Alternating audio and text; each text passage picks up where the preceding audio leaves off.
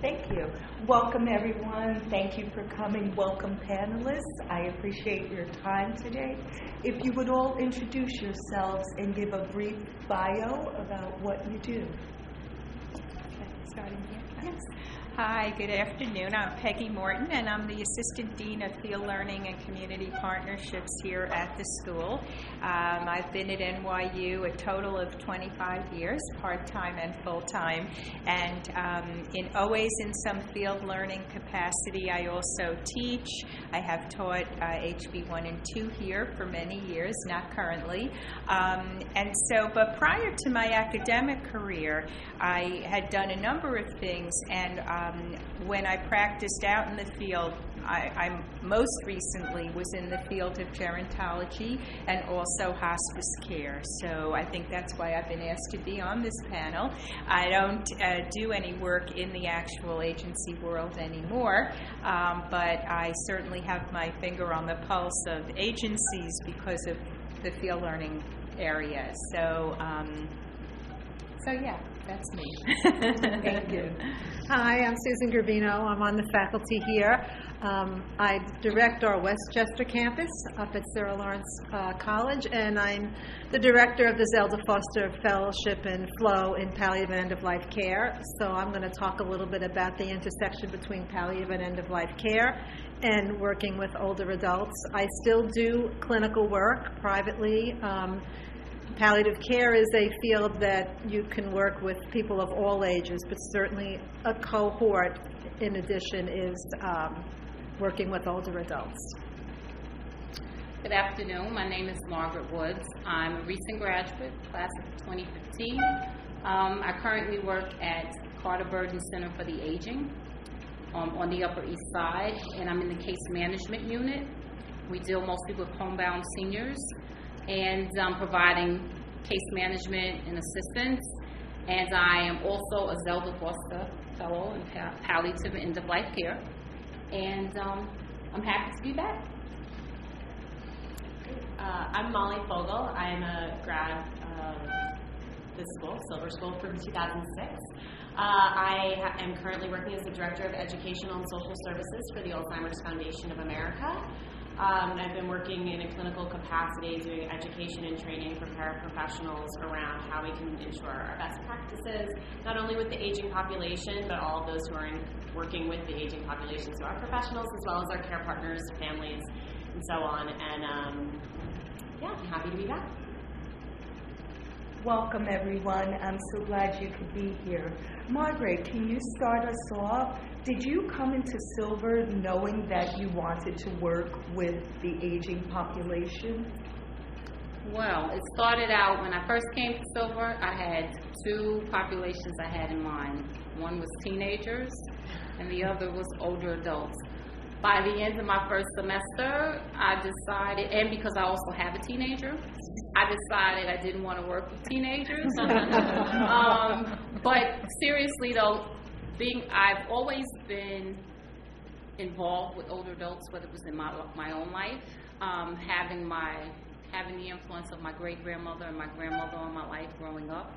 So that intergenerational dynamic that you have with that was always a part of my life. And I looked around at my family and realized that about 90% of my family are now age 70, really 70 and over. So I think that I always wanted to work with older adults. And it wasn't until I came to Silver and was in this environment and I worked at self help during my first internship that it really solidified it for me. Thank you. Molly, do you have additional credentials outside of your MSW to work with the aging population?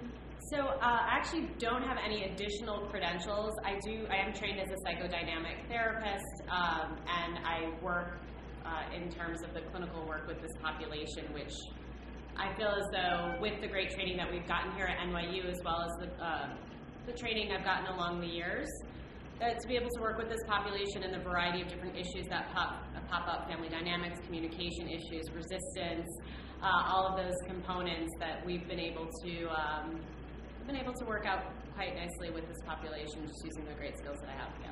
Great.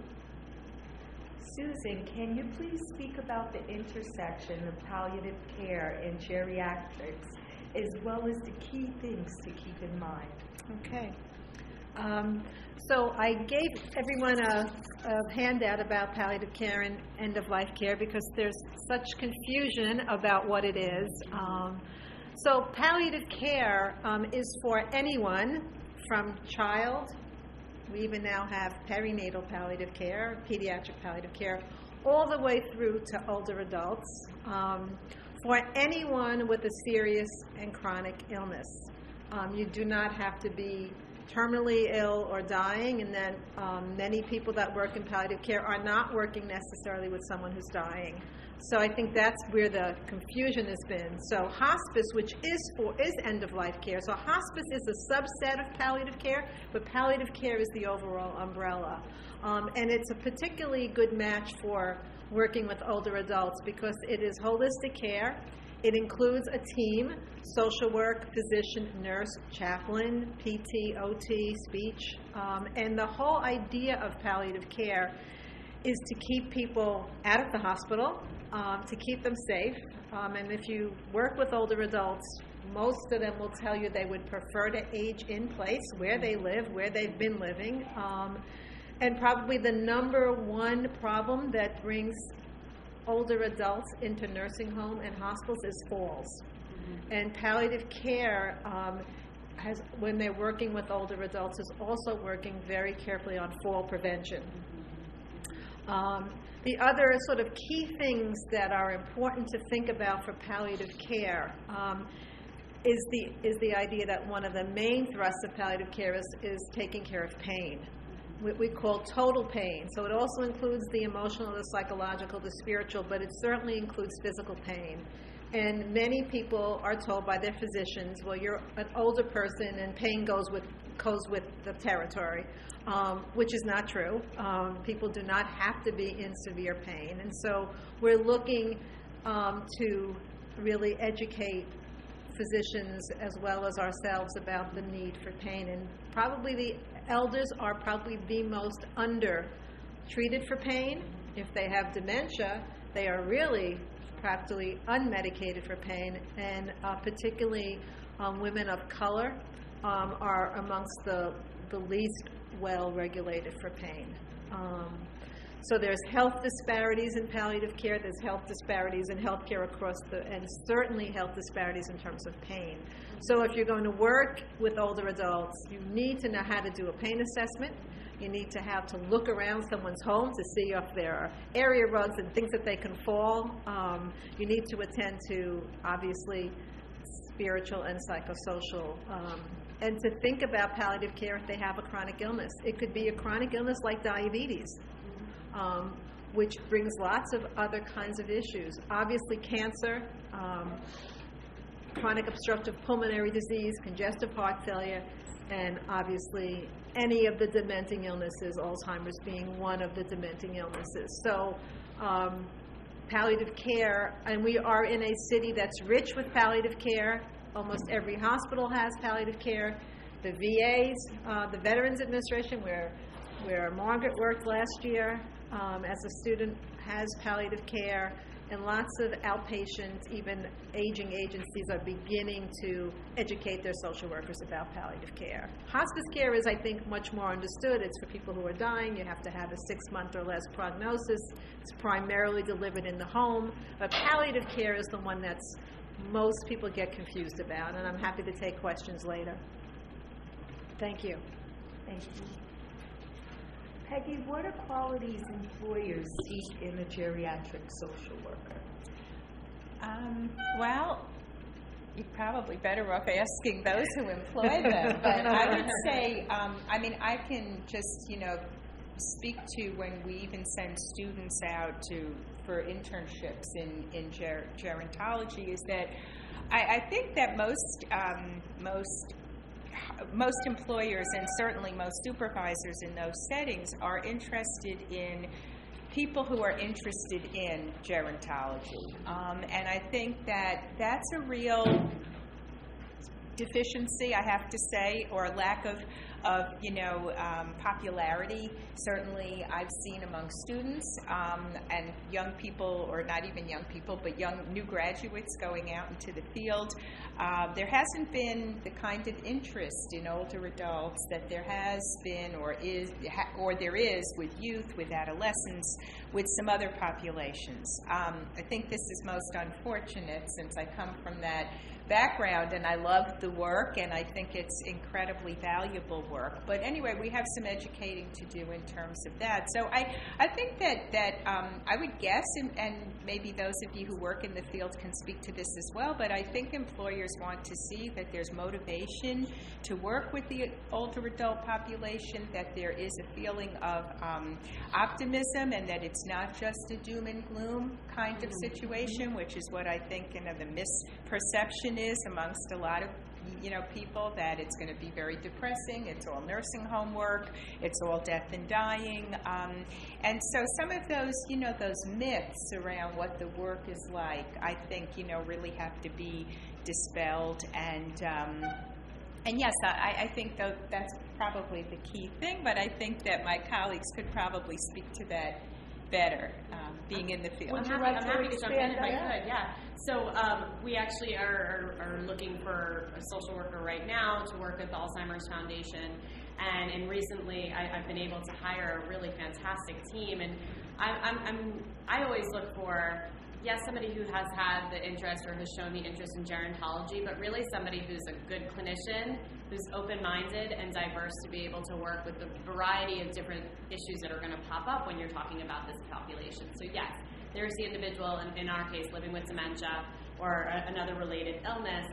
But there's also those individuals who are having a, a hard time dealing with the continued loss of seeing somebody slip away day after day while they're still living. And so the ability to kind of switch gears from not only just case management or resource provision, but also to be able to be a clinician and a therapist if they need to be, somebody who's able to uh, really provide support and link with resources, somebody who's going to be able to not just focus on the limitations but the capabilities, and ensure and recognize that there are ways that you can age gracefully, there are ways that you can age meaningfully, and that there are ways that you can age with a quality of life. And so if you've got that total package, um, or even just a, a large majority of that total package, and then the personality and the energy to boot, as well as, as, uh, Peggy's mentioning, you know, you've got to knock down a few different doors to get through here. Like we find, and, and, and again, I'm very fortunate with our team at AFA that we're, we're kind of pushing through and trying to push people's um, stereotypes of what it is to work in this population,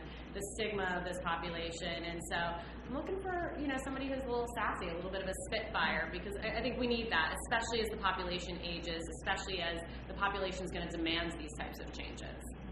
Thank you. Peggy or Susan, what professional organizations are you part of? And what other affiliations have you made to facilitate your professional development? Go ahead.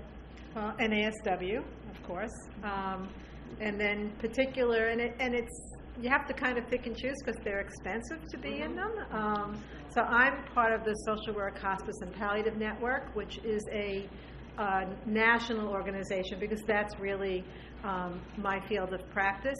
But there are lots of other um, things you can do. So you can read read articles in journals, um, and then there's for those of you that are interested in the intersection of palliative care and geriatrics. There's a blog called GeriPal, G-E-R-I dot P-A-L, which is free. So there are lots of and there's a list serve for the hospice and palliative care. There's a list serve. Um, for uh, the Association of Oncology Social Work. Um, so that's another agency that I, another place that I belong to. Um, but you have to kind of pick and choose what um, what's the the best. There is a geriatric care manager um, network, so there's lots of things out there. But there's blogs and listservs that some of them you can get on for without paying. So um, and just read keeping up with the, with reading even after you get out of school. I think that's an important thing too. Peggy, would you like to? Yeah, I don't really, honestly, I'm um, also affiliated with NASW, um, CSWE, which is the Council on Social Work Education, um, so more generic organizations. I'm not really a part right now with any gerontology organizations. The other place that's doing a lot of work with older adults and is the New York Academy of Medicine, um, which I'm part of. But um, again, there's so many things to be part of that get expensive. But uh, New York Academy of Medicine has lectures that are free um, that you can go to, and a newsletter. So you kind of have to Google things and see what comes up that. I, I'm a part of NASW, that's our national organization. I have my malpractice insurance through them. So I mean, that's an important one to be part of. And I think if you join as a student, it's less expensive, right? Yeah, and that, that less expensive carries on for a couple of years. Right. There's also So- the American Society on Aging, and Right. they have a national Right. conference coming up, and there's been a big push to get more students involved, and it is a much lower rate for students, so it's coming up the end of March, it's in DC, um, and they also, they've got some great mailings, and they do have webinars that are a fee, but if you are um, a member, you can get a reduction in fee, or actually, no, if you're a member, you get the webinars for free. And so the, and the membership is fairly nominal with all that educational opportunity which you can have. Thank you. Margaret, are there any affiliations that you'd like to discuss? No, not, so, I, well, I am a member of the NASW. Mm-hmm. Um, and as Susan said, can get a little pricey, so I'm kind of looking around. I'm interested in maybe eventually becoming part of the um, geriatric care manager. So it's being freshly out of school and just starting to work. I've got to like kind of pace myself, but that I, I was always a member of the NASW even as a student, so that just carried over and I continued. Great, thank you. Maggie or Molly, what services do geriatric social workers offer? Um, you kind of touched upon it before, but if you could expand. So, from what I do at my agency, there's um, I'm in the case management unit. So, um, Meals on Wheels is typically what brings me into the um, senior's home, and basically there's either case management, there's linkage to resources. Um, there, our um, agency offers volunteer services for homebound seniors who can't get out. So there's um, also there's a lot of different things. Advocacy. Um, we have an elder abuse unit because a lot. I'm coming across in my caseload that there are instances of elder abuse, and because there is shame and stigma around that, um, it's really working with the senior and trying to get them to understand that this isn't okay, and that if you want to pursue having the abuser, you know, either taken out of the home or dealt with in a legal manner, just going through that, walking them through that process um, being someone who is supportive, so there's a lot of supportive counseling that goes on um, in the home. And um, I'm actually, actually, my job, I'm beginning to work with, our agency is starting to work with some OT interns on a palliative care project. So we're reaching out to um, elders in the community who need palliative care to identify them because um, for the most part if they're in a hospital then they're you know you know them but most of the time there are a lot of seniors that are in the homes. They're isolated. They need palliative care because they're dealing with arthritis diabetes all the things that Susan mentioned but they don't have any access to pain management or if they have pain management they're not really taking their medications properly. There's a whole host of things. So that really identifying them for palliative care and getting the interns in who can work with them and link them to services. So that's something that's happening that I'm very excited about. And um, what else is there? There's, there's so many things. I I think what I really want to uh, convey is that for all the stereotypes that you hear about aging, there are a host of different avenues that you can go into as a social worker to deal with older adults and dealing with older, whether it's in a hospital setting. I was I was privileged to work at the VA last year, so that was with palliative end of life care, and so you're dealing with the, with the veteran who comes into the hospital and who then goes to long term hospice care. And you're dealing with the family, so there's also services that you provide to the family. So it just becomes a comprehensive um, piece, which I'm really enjoying because typically there's a senior there Well, thank you for all of your insight and your inspiration. I'd like to, op- like to open the floor up to questions. Yes? So it seems that there is an abundance of jobs available, but I feel like I've seen a lot for me because I'm a second year and I do want to work with geriatrics and I've done both my internships working with older adults. And a lot of the positions that I'm looking that are available have a lot to do with case management. And then I'm not sure if you guys just are aware, I'm not sure you are, that um, Mayor de Blasio's um, uh, what is it, thirty-seven point five million budget, uh, doesn't have anything added with case management in that respect. So it's, it's interesting how there's an abundance of jobs, there's not enough people who want to work within the gerontology sphere, but for those wanting to go on more of a macro level with geriatrics and advocacy, um, what can you suggest as far as someone who's looking for employment after um, getting their degree, and what kind of suggestions can you give someone who's going more towards the macro level of thinking and not specifically just clinical or case management? Well, I can think of, I mean, this is very, you know, um, small, but I can think of like a couple of agencies that we've worked with here at the school that were macro in nature. One was the Council of Senior Centers and Agencies, Council of Senior Citizens, and It's called is Live On Live now. On. Yeah. What's Yeah, it called? CSCS New York now called Live Live On. On. Live on, New York. Live on New York. Council of Senior Centers and Services. It's called Live On? Live On New York. Mm-hmm. Bobby Sackman's organization? Bobby Yeah, they changed the Sackman's? name. Oh, mm-hmm. Okay. It's much easier now because you can just call it Live On. Live On, Whatever right. it used to be. That's Okay. actually where I got that information about the budget. Yeah. Right. Oh, okay. was here. It was from Lilly, so, okay, I mean. Right, so that was one place where we actually had a field placement. It was a macro placement. And the other place that we've had macro assignments, but not, not currently, was United Neighborhood Houses. And that's the umbrella for all the settlements and all the, um, so, but, but on the governmental level, I'm not sure, um, so much. DFTA, DFTA. DFTA might be a place, yeah. Right. I'm just trying to. And Well, I think Go ahead. Department of Aging. Yeah, Department, that's what I was going to say, Department of Aging.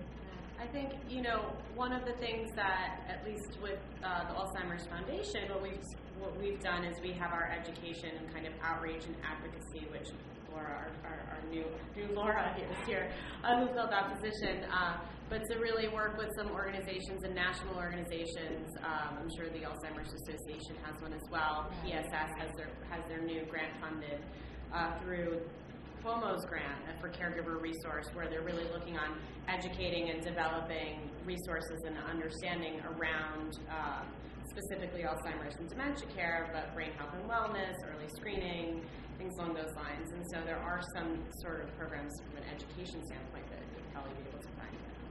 And you might want to look at the Medicare advocacy agencies, of which there are a bunch, that the names are sort of escaping my mind. But I think any healthcare advocacy agencies, if you look, would probably have someone on looking at, at older adult issues. Um, So I would certainly look at health advocacy agencies and Medicare, there's like Medicare Rights Center, there's places like that that are doing work on a, on a more macro level as well. There's also a fantastic program called Reserve that's based out of New York, and they do a lot of work to um, around employment and engaging meaningful living for people as they age. So let's say somebody who's you know retired, semi-retired, let's say he's working an accountant, they'll place those individuals, these reservists, in the jobs, and they also do quite a bit of um, again education and, and some advocacy, and they have various programs around the country now. Um, and so they might be a, an opportunity as well. First of all, thank you guys so much. Um, as a volunteer at NYU Hospital for Joint Diseases in the social work and case management department, whatever you just said now applies so well. Because you deal with a lot of older people, and it all of it applies. And also, I do um, water yoga instruction for a group of um, Holocaust survivors, and that population is dwindling. Yes. And what you said about the stories, and it was just so applicable. Um, about the older population in prisons, what can you say about that? That's a good So- question. So um, actually know something about that. Uh, the older population in prisons, there's a lot. Of, there's a lot of chatter going on about that. My background's in criminal justice, just again to just show you how when completely mentioned outside the yeah the scope of my current job is. Uh, yeah, so there there's a lot of chatter right now around, especially dementia. Well, what, what I'm focusing on, dementia care or lack of dementia care or recognition around Alzheimer's and dementia-related illnesses in the prison population. Um, and just with as with a lot of these type of specialties within prison population, there's not the best mental health care. There's not necessarily good recognition around substance use unless you're talking. Well, that's a whole other issue. Um, and so there's a lot of chatter. As far as I know, there aren't too many organizations, but again, I haven't been focusing too much on it. Uh, that not too many organizations who are specifically speaking Right, to educating. and that's my, that's my question. Is there a future for an organization like that? An organization solely working on advocating for Yeah, because individuals. there are advocacy for women in prisons, and there are for all that, but then there is an older population in prison, right? Mhm, And yeah. not look at that. Yeah. Is there a future for an organization who will like advocate for them? I think there'd totally be a future. I think that there there would be a lot of uh, challenges. Again, going back to that idea of those energetic, funky social workers that we can have who will bust down some doors. But I- that'll add some fun to this prison. Oh, prison is so much fun. Absolutely. No, like yeah. for the new social workers. No, for real. If I could, if I could go educate everyone in prison about dementia, I just have a new project. Noted. New There is a project. program, I'm Yeah, sorry, there is a program called RAPP, which is Release Aging People in Prison, and they do a lot of advocacy work around Mhm. um, the elderly in prisons. Helping them like get them out earlier or stuff like that. Not only that early release, but then once they reintegrate back into the community, assisting them with services, getting them linked up, you know, to services and that. And so that's an organization I know that does a lot of work. Vera, Vera Institute and Fortune Justice. Society would probably also Fortune be Society. places to look into to see what they're doing. And there also is a hospice movement in prison. It's really been very progressive for a while, and then it sort of has lost momentum. Um, major issues of people in prison with cancer, with pain, not getting pain, pain and palliation. Um, so that's that's a real cutting edge field at this point. I know California and Louisiana have Yes, they do. programs that are really um, for the Hospice, hospice, and hospice, yeah, if you just write, if you Google prison and hos- hospice and prison, those programs, will- Programs will those come programs up. will come up. And those are two well-known programs um, that deal with that, where the inmates actually provide the support to. Yeah, the inmates that. actually care, do the, what we would call the home attendant work with their fellow prisoners. Wow, but the- great for empowerment. But the biggest problem is, um, the number one, you know, medication that people use for pain is morphine. Morphine, And getting that into a prison has been, is a real Yeah, issue. So there are there are real advocacy issues around people who are, have pain and are ill, but are living in prison, people who are not going to get out of prison. So it's kind of like a, a practice related question. Um, I was just came up in my practice class, uh, this past week. So, um, one of the main tenets that we live by as social workers is the client's right to self-determination. Um, but I'm just curious if any of you have experienced firsthand a practice situation with a client who is either in the early stages of Alzheimer's or dementia, and there may be some, some issues with um, taking medication as prescribed on a regular basis. So, um, if you have encountered those types of situations where you've got a client who um, they have some cognitive impairments in place, have you honored the client's right to take or to not take, say, a a pain medication or things like that? Um, and are there different sets of procedures in place for um, working with the elderly? Is it very, uh, whether it's a VA hospital or whether it's a community-based clinic? Um, these are, I mean, some of these things are sort of situational. I know it depends on where you place it, who your supervisor is, but I was curious to hear if any of you have had a certain experience like that on the job or if you heard from students or placements currently in palliative care,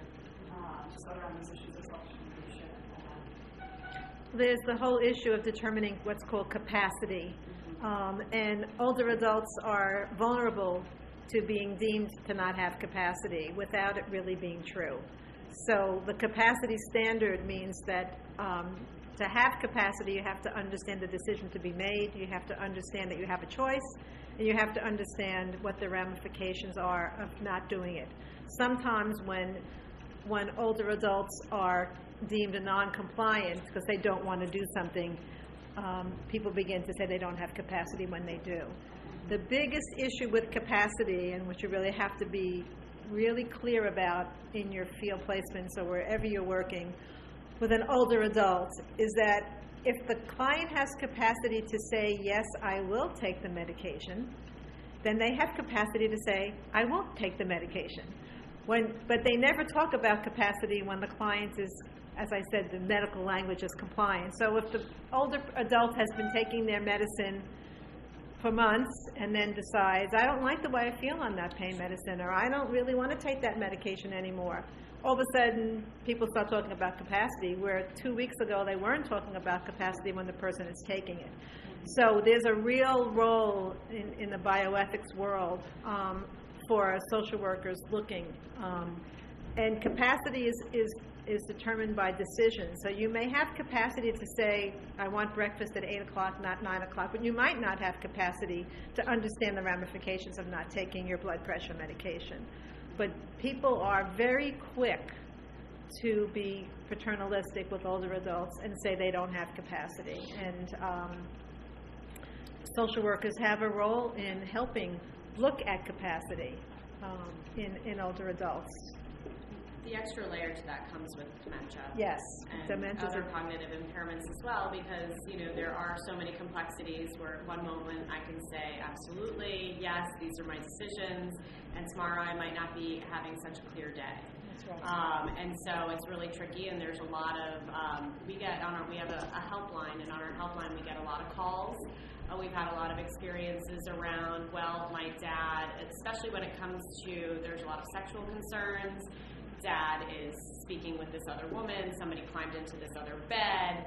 Do they know what they're doing? Is this a sexual, um, like, kind of deviant act, or is this just confusion? Um, if there is sexual intercourse between two residents in a facility, let's say, well, does mom really know what she's doing? I'm not sure. Yes, she is. And then family gets involved and stressed, and we don't know from moment to moment what may be going on in that person's mind because it can change moment to moment due to the dementia. And so it gets really tricky. Um, it gets really complicated. It's a very big, hot button issue. Uh, when it comes to how we like to talk about um, decision making for individuals living with dementia and their families, it's as the earlier you can have these conversations, the better, and as often as you can have these conversations. So we're actually having a um, teleconference Thursday around advanced care planning when it comes specifically to dementia. It's a free phone conference we do monthly. Um, because it's important, especially upon early, this is why we like early detection, uh, memory screening, early diagnosing, so we can understand, okay, there's a situation happening with dad. Um, and the family has an opportunity before it becomes a crisis to really talk to dad, as with any type of advanced care planning, right? Finding out the health directives. So we can talk to that individual and get their understanding and then continue to have open dialogue around as, as the disease progresses. This is what's going to happen with you now that you have Alzheimer's. This may happen. This is what it could look like.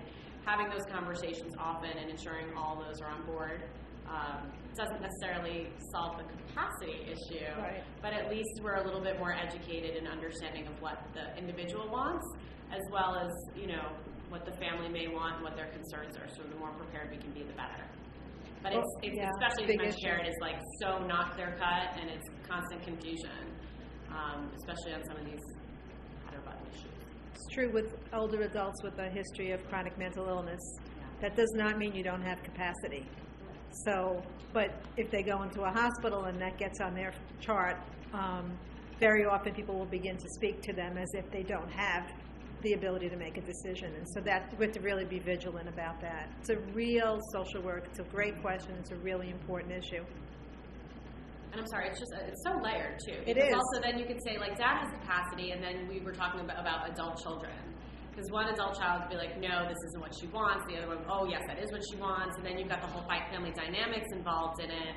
Um, and then if it's on a medical record, not on a medical record, I do want dad on this pill. I don't want dad on this pill. I mean, it's so so layered. Amazing, rich, fantastic clinical work.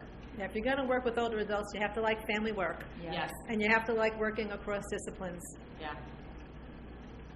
I have a question along those same lines. Um, so I work right now, I'm interning at, um, at a hospital, and so I'm working with all populations really, but we also get older adults as well.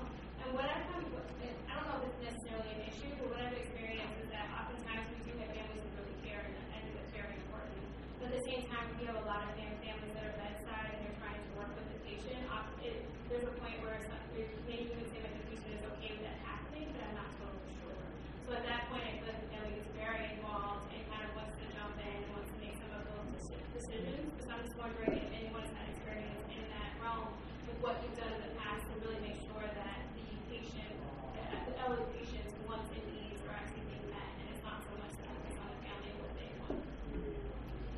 So that can that can get really tricky, and I can I use this example in a lot of the training that I do, and it, it, it's a personal example. My grandfather was 96, and he decided he wanted to go ahead with quadruple bypass surgery. You know, that sounds like a really smart thing to do, and for him, that was his choice, and he had the capacity to make that choice. My mom and my, my aunt fighting, fighting, fighting, all this other stuff. They're like, Molly, you gotta come, you gotta come to town. You gotta see your grandfather. This might be, this might be it. Uh, type conversation. And I went there and I said, Hey, Papa, how are you? And he said, You know, no one's asked me that in a month. And I think that that to me says it all. That we need to remember as social workers, right, especially, but also as, as human beings, to stop for a second and perhaps if the family has an opportunity where they're all going and getting a coffee or whatever, or just, you know, encouraging the family, and we, we talk about this quite a bit at AFA, remembering that there's still a person here, whether they have dementia or not, um, remembering that a patient is still a person. And so, how are you?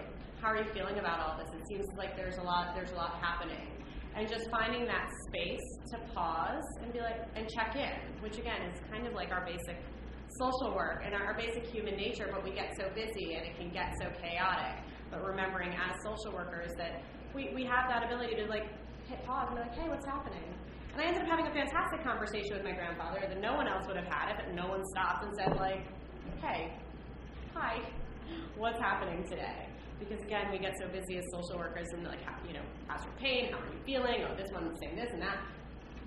Chill out. What's happening? Tell me. Hi. So I, I like to use that example because I think when there's a lot of chaos, especially when there's drama involved and there's a lot happening and it's all really scary for the family members, to not forget the person, the person who's actually experiencing all of this in their body, and, and checking in with them.